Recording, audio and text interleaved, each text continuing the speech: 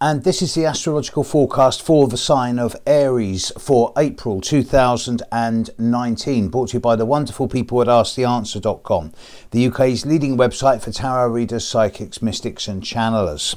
So, Aries, um, it's not that bad a month for you compared to many others. This last, the start of this year has been well, I'm not going to say it's been quiet because it hasn't. In fact, the first part of this year was pretty horrendous. And since then, we've been in having a Mercury retrograde, and there's been a great deal of uncertainty and confusion.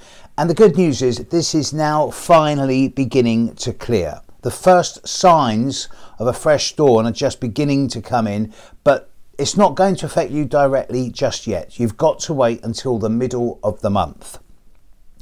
As you get into the middle of April, so um, Mercury will move into your horoscope, into your sign around the 17th of April, closely followed by Venus around the 20th of April.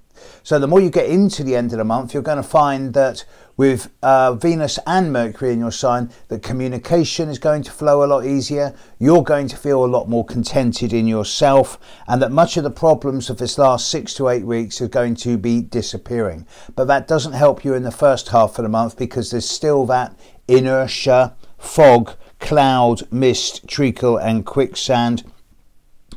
A few of you are doing okay. In fact, none of you are doing in what I would call a really difficult phase. It's just this frustration at not being able to move as fast or as quick, as cleanly as you would like to.